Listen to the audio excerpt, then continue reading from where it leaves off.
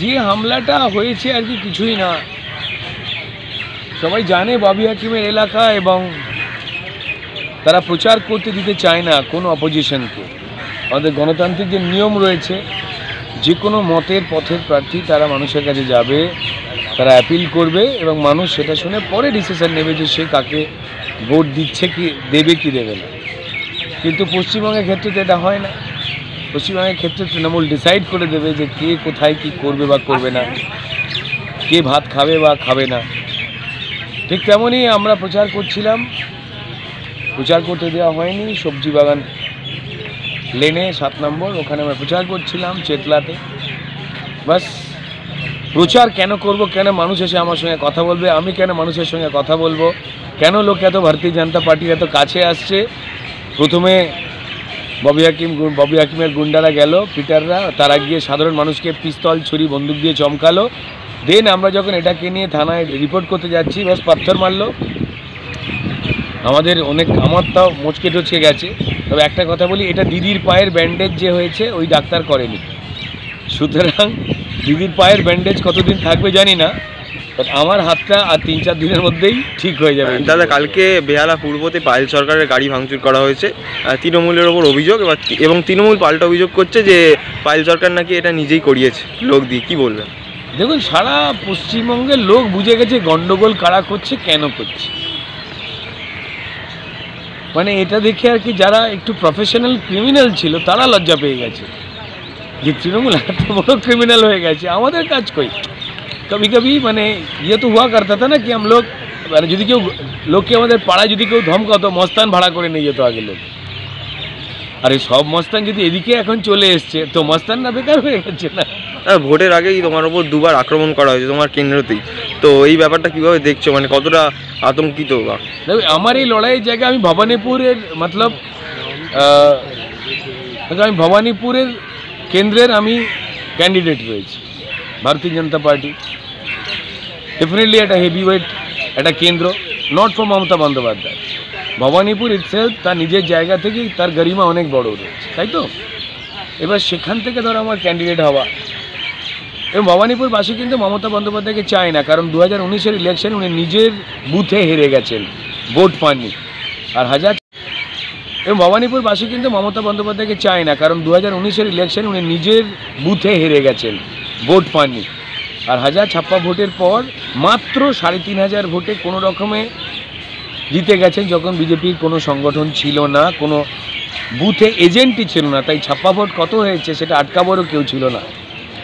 আর মমতা বন্দ্যোপাধ্যায় জানেন যে দু হাজার একুশে যদি নির্বাচন হয় যদি অরিজিনাল নির্বাচন হয় তাহলে আমি হেরে যাব কারণ ওই ভোটটা নকল ভোট ছিল। দাদা আমি ভবানীপুর থেকে দাঁড়াননি। অ্যাজ এ সিনিয়র পলিটিশিয়ান দাঁড়াননি জানেন হেরে যাবেন। দাদা শেষ প্রশ্ন যে এই এবারের ভোট নিয়ে কতটা আশাবাদী? কি মনে হচ্ছে? পশ্চিমবঙ্গে কি সরকার করতে পারবে বিজেপি? দেখুন এটা আপনি পাড়ার মোড়ে বা চায়ের দোকানে যেখানে আমাদের চর্চা হয় ওখানে জিজ্ঞেস করলেই আপনি হাওয়া বুঝতে পেরে যাবেন।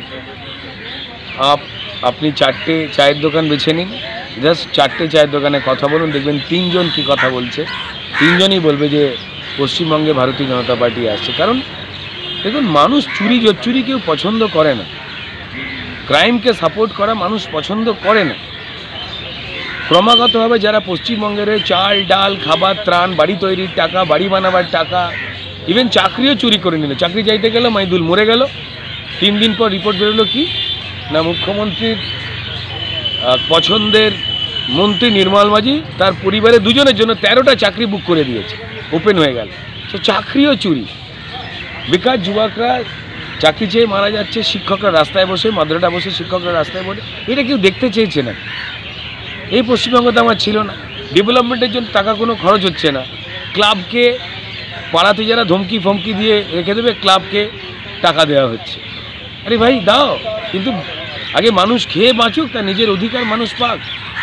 ভবানীপুর অঞ্চলের জায়গায় মানুষটা পছন্দ করছেন উনি সবাইকে বলেছেন বহিরাগত। আরে ভাই, ভবানীপুরের মানুষ বহিরাগত। এটা কি করে হয়? কাদের বলছেন?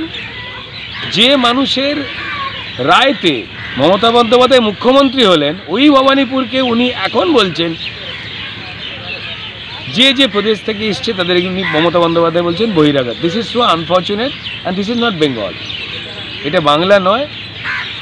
হেরে যাচ্ছেন বলে উনি দুঃখে অনেক খারাপ কথা বলছেন।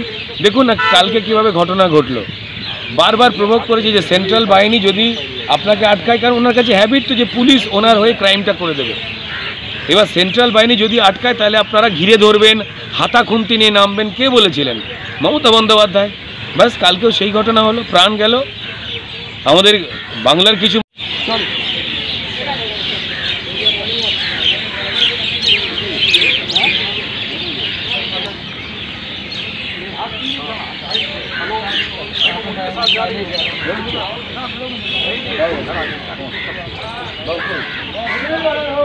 এদিক থেকে না লাইটের দিক থেকে আসবে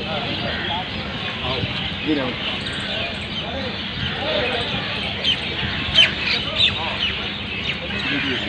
আচ্ছা।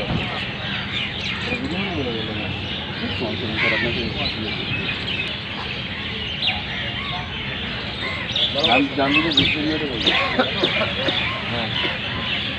আচ্ছা আচ্ছা আচ্ছা। ছোট্ট আছে একটু তুলে দিন Sure.